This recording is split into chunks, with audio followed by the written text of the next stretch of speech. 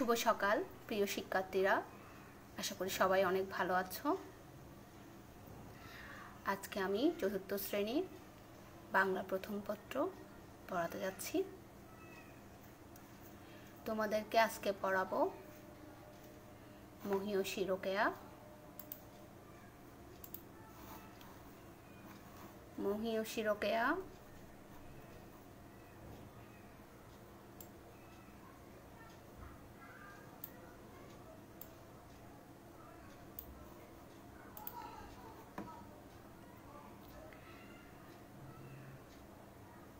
আমি একটু পড়ছি।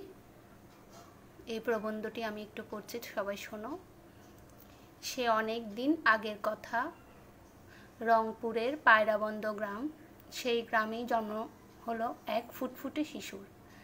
নাম তার রোকেয়া। রোকেয়ার দুই বোন আর দুই ভাই। বাবা জমিদার। কিন্তু সেই জমিদারই তখন পড়তির দিকে। আগের অবস্থা আর নেই। রোকেয়া সকালে ঘুম ভাঙে পাখির ডাকে। পাখিদের তো ডানা আছে। পাখিরা উঠতে পারে। যখন যেখানে খুশি যেতে পারে। কিন্তু রোকেয়ার তো কোথাও যাওয়ার অনুমতি নেই। ঘরের বাইরে তো দূরের কথা। কারও সামনে যাওয়াও নিষেধ। এমনকি সে যদি মেয়ে হয়, তার সামনেও নয়। একবার হলো কি, কয়েকজন মেয়ে আত্মীয় রোকেয়াদের বাড়িতে বেড়াতে এলো। রোকেয়ার বয়স তখন পাঁচ বছর। চার দেয়ালের মধ্যে বন্দি রোকেয়ার তো খুশি হবার কথা, কিন্তু তাকে তখন চিলেকোটায় কখনো সিঁড়ির নিচে, কখনো দরজার আড়ালে লুকিয়ে থাকতে হলো। ছেলে মেয়ে কারও সামনে আসাই যে নিষেধ। মেয়েদের যে এভাবে চলতে হতো, একেই বলে অবরোধ প্রথা। অবরোধ মানে বাড়ির নির্দিষ্ট গণ্ডির মধ্যে আটকে থাকা। শুধু মেয়ে হওয়ার কারণে রোকেয়াকে এভাবে কাটাতে হতো বন্দি জীবন। সেকালে মেয়েদের লেখাপড়ারও চল ছিল না। আসলে মুসলমান মেয়েদের তখন স্কুলে যেতেই দিতেন না অভিভাবকরা। রোকেয়া স্কুলে যাবেন কি করে? লেখাপড়াই বা শিখবেন কীভাবে? কিন্তু তিনি তো দোমবার পাত্রী নন। বাড়িতে কোরআন পড়া শিখলেন, উর্দুও শিখেছিলেন, কিন্তু বাংলা শেখার জন্য তার মন ছটফট করতে লাগল। রোকেয়ার বড় বোন করিমুন্নেসা জ্যেষ্ঠ ভ্রাতা ইব্রাহিম সাবের করিমুন করিমুন্নেসা তার বড় ভাইয়ের কাছে লেখাপড়া শিখেছিলেন। ভাই বোন দুজনেই রোকেয়াকে খুবই স্নেহ করতেন। এই ভাই বোনের কাছে রোকেয়ার যত আবদার। রোকেয়ার লেখাপড়া করার কি অদম্য আগ্রহ? বড় বোনের কাছে তিনি বাংলা শিখলেন। সেই লেখাপড়াটা ছিল আরেক যুদ্ধ। রাত গভীর হলে ভাইয়ের কাছে শুরু হতো তার জ্ঞান অর্জন। বাবা মা তখন গভীর ঘুমে। সারা বাড়ি নির্ঝুম। মোমবাতি জ্বালিয়ে রোকেয়া বই খুলে বসেছেন। এ বই সে বই থেকে ভাই সাবের তাকে পাঠ দিচ্ছেন। জ্ঞানের জন্যে তৃষ্ণাত্ম বোন রোকেয়া শিখছেন কত কিছু। রাতের পর রাত এভাবেই কেটে গেছে। কখনো কখনো পড়তে পড়তে ভোর হয়ে গেছে। লুকিয়ে লুকিয়ে এভাবেই পড়া শিখেছেন রোকেয়া। আসলে সেই সময়টা ছিল এমনই। মেয়েদের না ছিল লেখাপড়ার অধিকার, না ছিল বাইরে কোথাও বেরোবার স্বাধীনতা। সামাজিক বিধিনিষেধের কারণে মেয়েরা লেখাপড়া করতে পারত না। মেয়েদের বিয়ে দেওয়া হতো খুব অল্প বয়সে। এইভাবেই বড় বোন করিমুন্নেসার চোদ্দ বছর বয়সে বিয়ে হয়ে গেল। রোকেয়ার বিয়ে হলো ষোলো বছর বয়সে। স্বামী সৈয়দ সাকাওয়াত হোসেন, সরকারি চাকুরে। এবার স্বামীর নামানুসারে তার নাম হলো রোকেয়া সাকাওয়াত হোসেন। বিয়ের পর স্বামীর সঙ্গে শ্বশুরবাড়ি যাওয়ার পালা। স্বামীর বাড়ি ভাগলপুর পৌঁছে দেখলেন, বাড়িতে সবাই উর্দুতেই কথা বলেন। রোকেয়াও উর্দুতে কথা বলতে শুরু করলেন।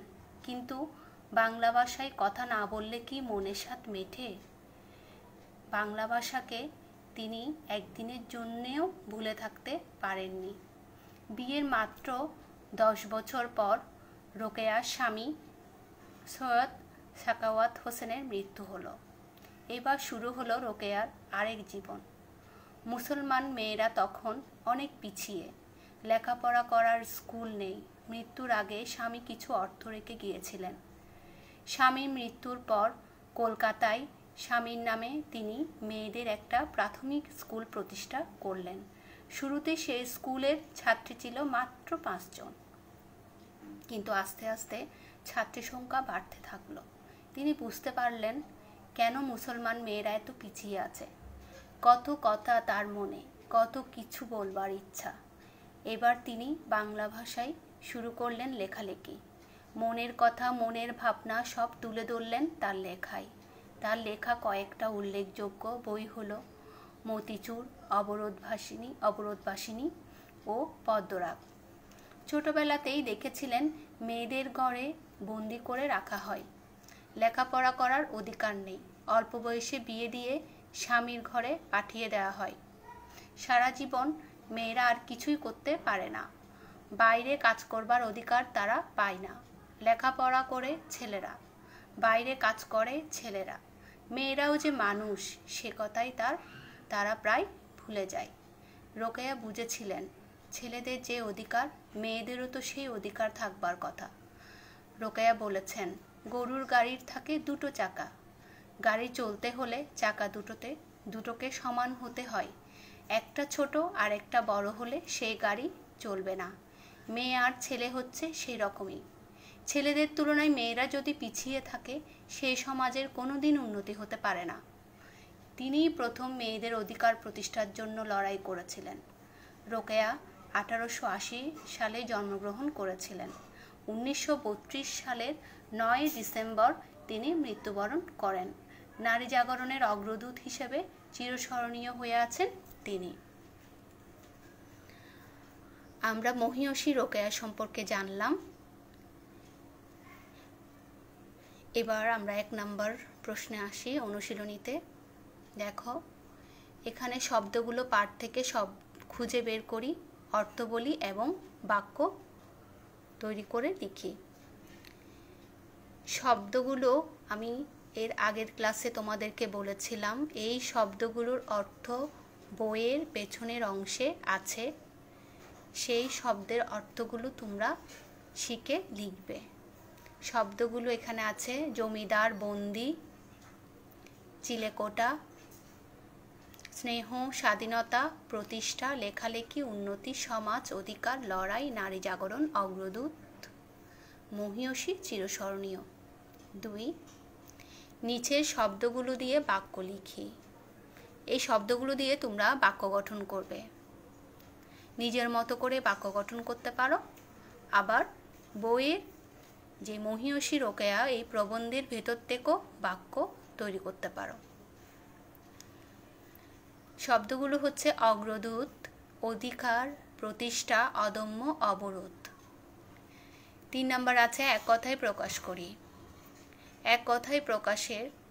এখানে অনেকের মধ্যে একজন জানার ইচ্ছে, জানার ইচ্ছা, জিজ্ঞাসা, আকাশে যে চড়ে খেচর, বিদ্যা আছে যার, বিদ্যান, ভাতের অভাব যার, হা মহান যে নারী, মহিয়সী।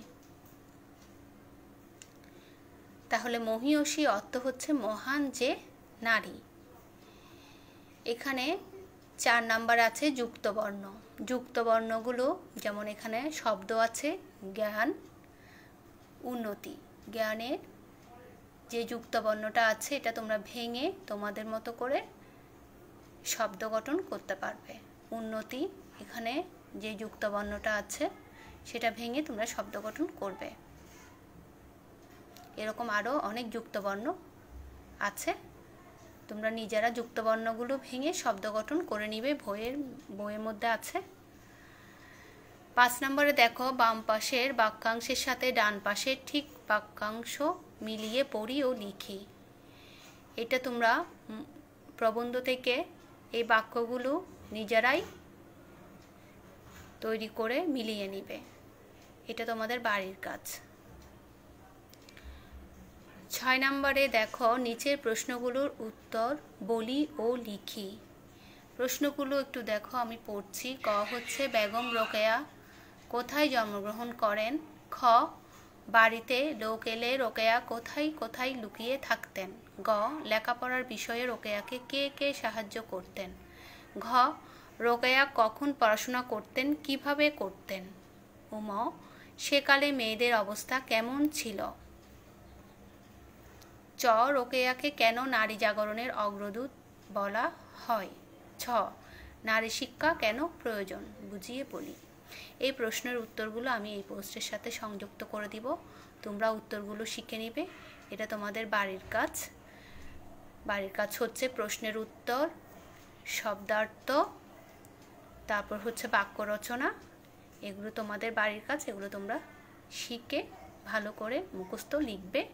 বানান অবশ্যই ভালো করে দেখবে, ভালো মতো শিখবে। বানান যেন ভুল না হয়। একবার ভুল হলে আরও দু তিনবার করে লিখবে, তাহলে তোমাদের ভুলটা আর হবে না। আমি আজকের মতো ক্লাসটা এখানেই শেষ করছি। ধন্যবাদ, ছাত্ররা।